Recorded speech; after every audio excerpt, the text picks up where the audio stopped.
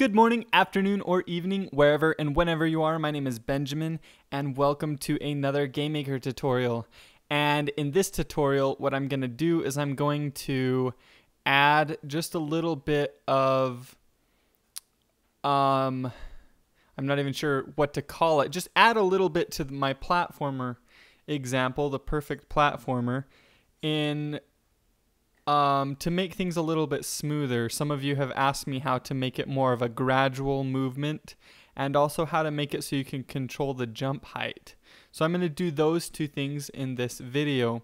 Um, for those of you who are anticipating my book, I'm still working on it and writing on it, so uh, look out for that. Although you guys should know that um, my wife is due next week, so if I don't upload any videos next week, then you will know why. So um, let's jump right into this and go into. So you'll need to have done the perfect platformer tutorial already or have access to that code, which you can actually download it from my Patreon page if you haven't done that yet. So first come into our object player and go into the create event and we're going to add in a variable. Let's see. This one um, may or may not already have certain aspects of it. Oops, that's not good. Oh well, we'll just go with it. Just pretend like you didn't see all this stuff, okay? Just pretend. And uh, let me take out the. Uh... Oh, this doesn't have the controlled jumping. Um, yeah, I must have accidentally saved my updated code over onto my perfect platformer code. So it it had some of the code from this tutorial. Because usually what I'll do is I will uh, um I'll do the entire tutorial in code before I actually do it on camera. Negative speed is what I meant to do. Okay, so now that I've um, reverted everything back to what you guys should have, we can start actually programming it. Going to make sure things are working how they should here. So we're all together on the same page. Okay, great. So we've got the basic platformer um, movement, but this, the, the movement is really snappy, which isn't exactly a bad thing. It's just let's learn how we can make it um, a little bit less snappy. So come in here, create a new variable. We're going to call this just frick, which stands for friction. I'm going to set it to 1. And then come into the step event, and we're going to um, come to, okay, so first let's control the jump height. So you see where we're checking if place meeting y plus 1, that means um, are we on the ground? Yes, we're on the ground. Well, for the for the control jump, you want to check when you're in the air. So come into this else. Right after we um, set the gravity, we're going to do another check. This is going to be if keyboard check released. VK up. So if they release the up key and V speed is less than negative 4, and their v speed is less than negative 4, which basically means they're going up still. And so they're on the upward motion still.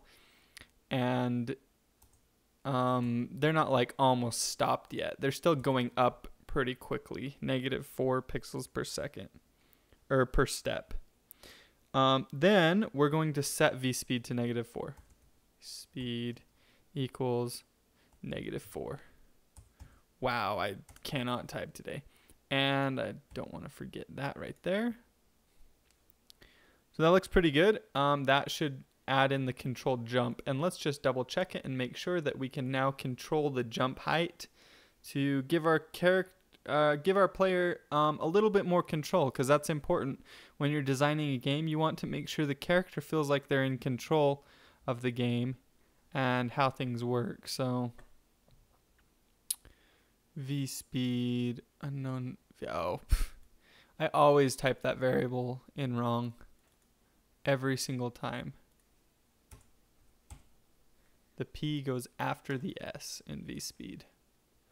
So that's a common mistake that a lot of you have made as well, and it's an easy mistake to make. So if you get an error message, check your v-speed variables because that's very easy for them. So now, hmm, let's go back and make sure I've got everything right.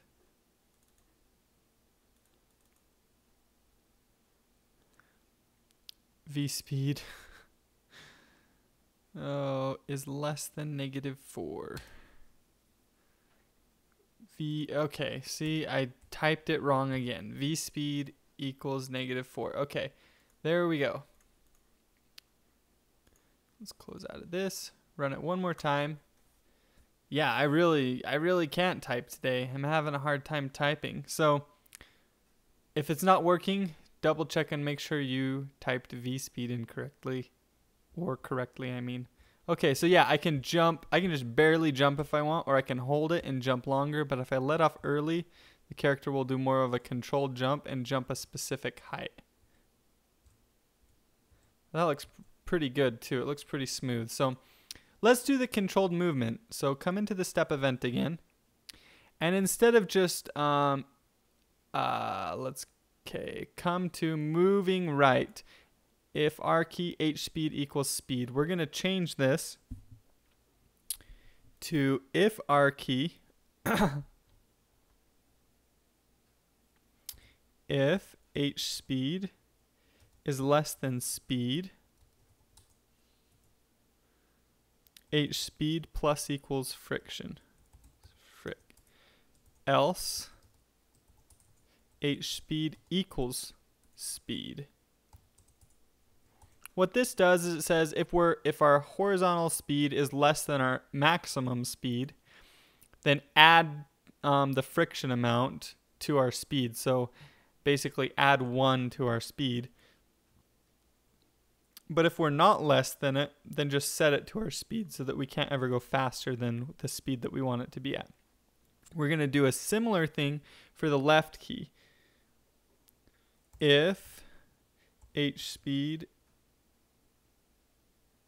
is greater than speed,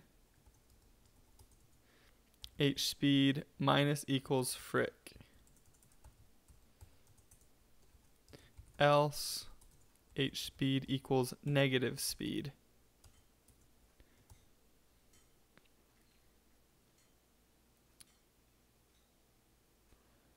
If h speed is greater than negative speed, I think. Yeah. And then we're going to do one more thing, and this is check if we're not moving. And this one's going to be the most complicated. So inside of here, just take out the h speed equals 0 and replace it with if h speed does not equal 0. Close those two brackets. If h speed is less than 0 else okay we're gonna put some code inside of these two h speed plus equals friction h speed minus equals friction basically what this says is if you're if if you are moving and your horizontal speed is um, positive is uh, negative, then um, slowly move it back to a positive. So basically, make it zero but slower, and not all at once. And then this is if you're moving the other way, then make it zero in a negative direction, not all at once. So it's not too complicated. Um, this shows all of the code for the movement. If you need to pause here and copy this down with the moving right, moving left, and check for stop, um, it's not too complicated. Let's go make sure I typed everything in right and run the game. But this will add a lot more of a smooth feel to um, moving left and right. And if you were to make the friction even lower, then it would give you kind of like a Mario on ice type feel. So you can see it gradually increases and gradually kind of stops. Um, I don't know how well you can see with the frame rate, but um, you can't stop exactly. See, I move, let off, and my character kind of slides a little bit.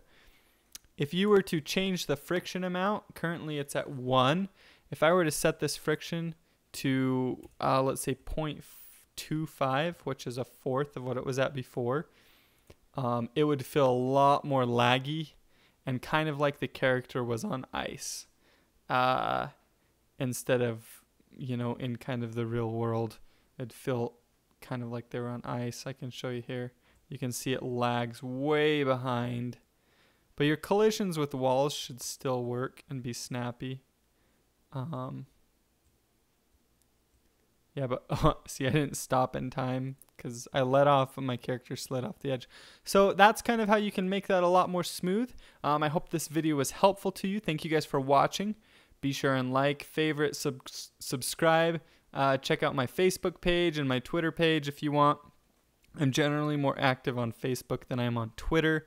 So, but I really appreciate you guys and hopefully this video helped you. And I will talk to you guys later.